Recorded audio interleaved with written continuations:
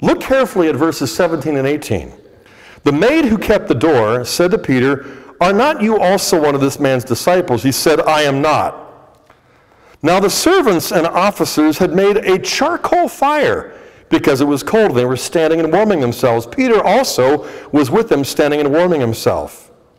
By the time you get down to verses 25 through 27, he's denied him three times in the cock crows.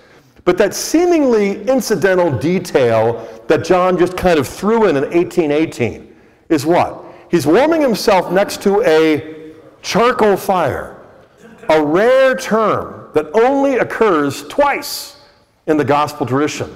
In chapter 18 with episode number 2, and guess where?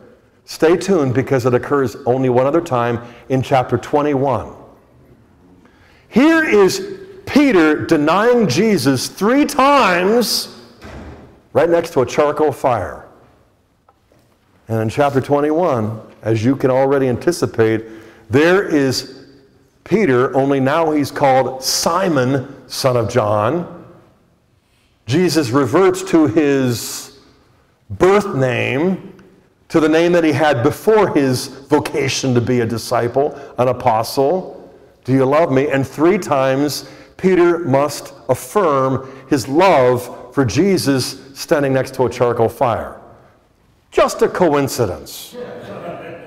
No. Just an epilogue added by a redactor a century or so later. I don't think so. So, this is episode number two.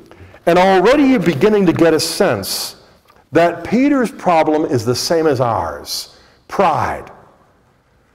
Pride is something that can be good, but it often isn't.